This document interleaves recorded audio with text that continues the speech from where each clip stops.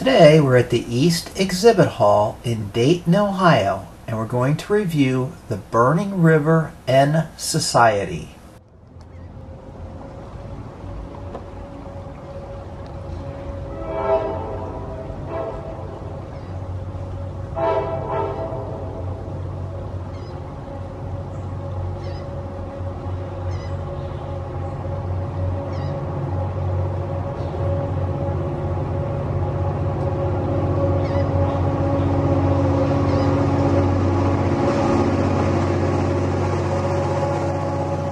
Thanks for watching. Now get out and explore.